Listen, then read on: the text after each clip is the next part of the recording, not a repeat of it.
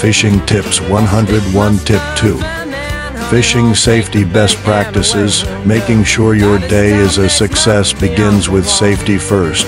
Prioritizing this means you won't have to worry about sunburns or hunger calling your day short. Even if you plan on a short trip, don't forget the following. 1. Protect yourself clothing, bug spray, and sunblock. Check the forecast before you head out. Wear weather appropriate clothing to keep you comfortable. Don't forget plenty of sunscreen and bug spray.